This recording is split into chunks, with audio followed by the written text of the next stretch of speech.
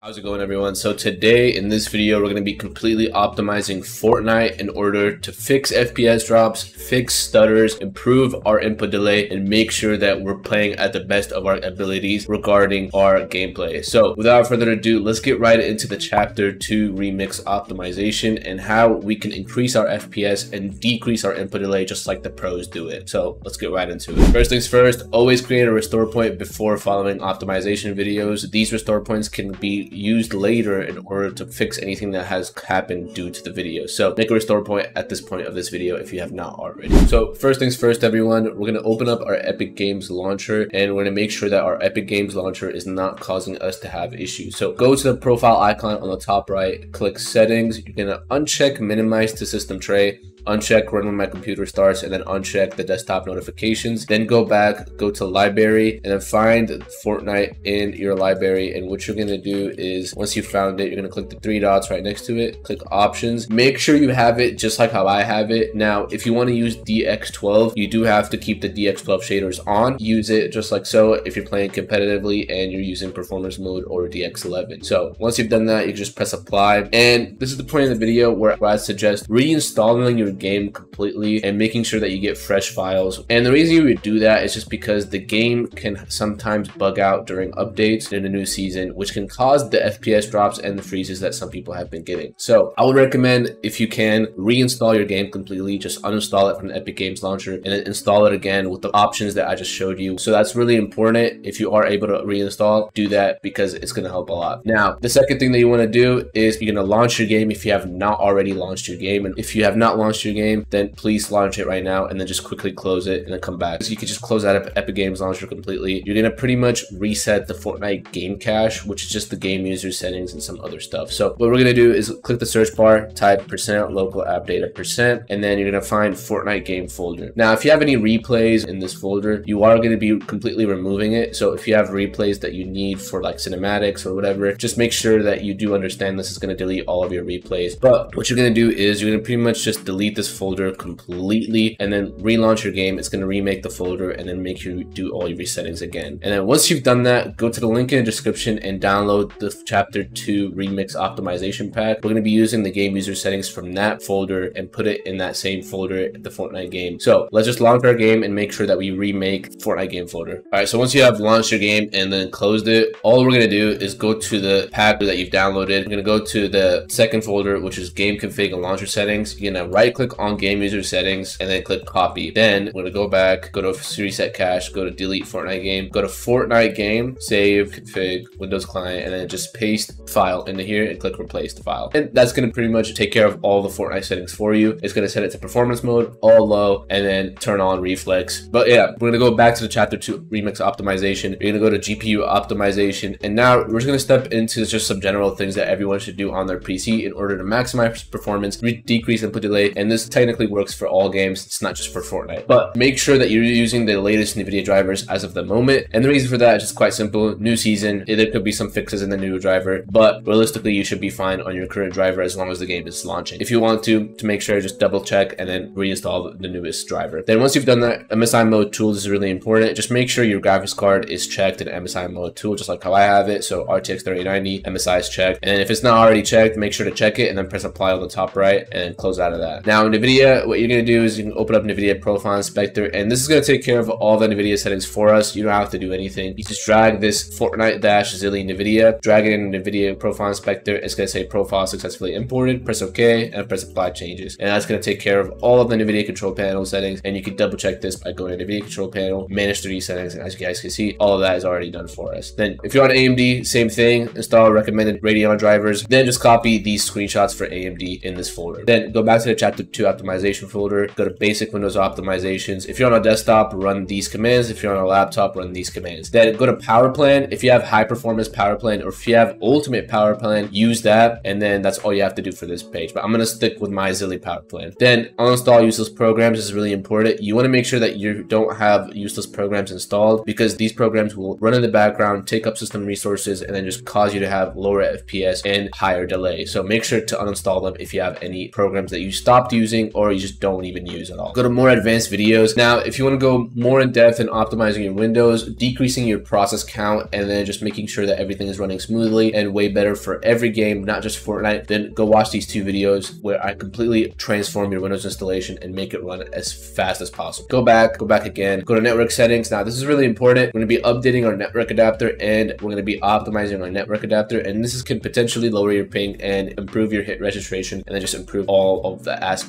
within network in your gameplay. Then go to update network adapter, double click SDIO underscore auto, and then just wait for this to pop up, press accept. It might take a couple seconds for that to pop up for you. Then this page, please wait for this to pop up, click download indexes only. Don't check anything else. Then just wait for this thing to download. And then, so once it's done downloading the indexes, all you're gonna do is scroll down to the bottom and you're gonna find your Intel Wi-Fi adapter if you have one, or your Realtek Wi-Fi adapter. Check that. And if you have your Intel i225V or i226V or Realtek family controller, which is gonna be your Ethernet controller, if you have it, check it and then click install on the top left, and it's gonna install the drivers for you and then update them to the latest version, and then you can continue with the next few settings for the network. Once you've done that, you can close out of that. We're gonna go back to network settings, double click network adapters, and it's gonna take you to this page. If you're on Wi-Fi, you can double click on Wi-Fi. If you're on Ethernet, you're gonna double click on Ethernet. I'm gonna double click Ethernet, go to properties, uncheck everything except QoS packet scheduler and then Internet Protocol version 4. Then once you've done that, double click on Internet Protocol version 4. If you want to use a custom DNS, you can. However, this does not lower your ping. It does absolutely nothing. It just makes your web pages load faster in Google. Go to advanced, go to WINS, uncheck enable LM host lookup, and then NetBIOS settings set it to disable NetBIOS over TCP slash IP. Then press OK, press OK again, and then you're gonna click OK again, go back to properties, click configure. And this is really important. Go to power management, uncheck all of this in here, go to advanced, disable ARP